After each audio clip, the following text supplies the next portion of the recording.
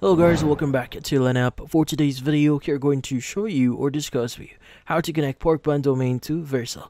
So if you're interested, let's get started. So how do you exactly do so? Well, first thing that you want to do here is you want to go ahead and go to porkbun.com here, log in into your account. Now, in our Porkbun website, or in this case on our account, you want to go ahead and go to your domain management option here. You want to go and copy your domain. Once you've copied that, let's go ahead and open up Vercel. Now, what you need to do is you want to go ahead and open up one of your projects here, and you want to go to your settings.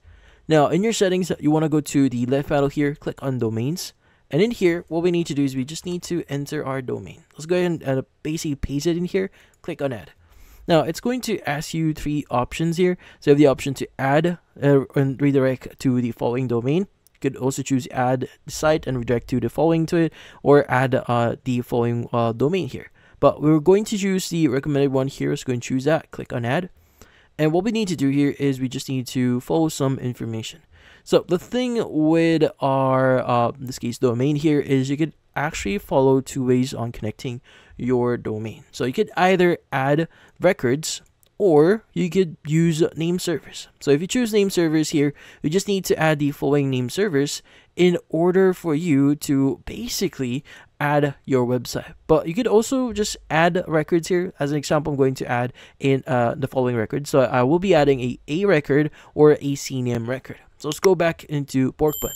Now, if you want to edit your name servers, you just need to click on NS for name servers, and you just need to add it in here. But if you want to add like DNS or records, you just want to go ahead and click on DNS. And from here, what we need to do is we want to go ahead and go to the section here and you want to go and choose your type of record. Now your host here, which in this case is going to be uh, at value for a record. And also this is going to be the value for it. Let's go and copy it. And from here, let's go and keep the TTL to 600. You could go and keep this by default. Let's go and click on add.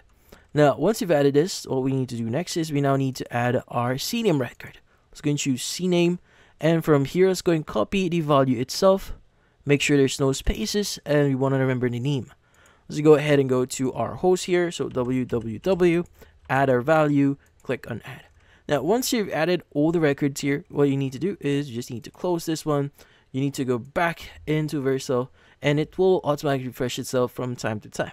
Now, the connection process might takes oh, might, might take a while here, so I recommend you to just refresh it as much as you can here until that you see it uh, configured. Now, again, like what I said before, this might take a while, so go ahead and refresh it. And also, the whole connection process might take around like 24 to 48 hours, so just go ahead and wait for it. But usually, you should be good. And that's about it.